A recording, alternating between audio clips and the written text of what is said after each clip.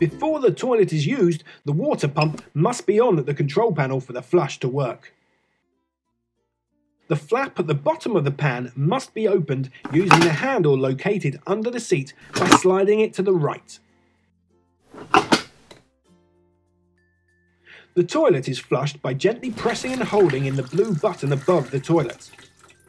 After all the water has drained into the cassette below, close the flap back up. A small light will appear next to the flush button when the toilet cassette is full and needs emptying.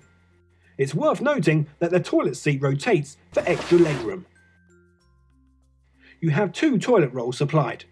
If you require more, please do not put any premium paper into the toilet as it will make your cassette hard to empty.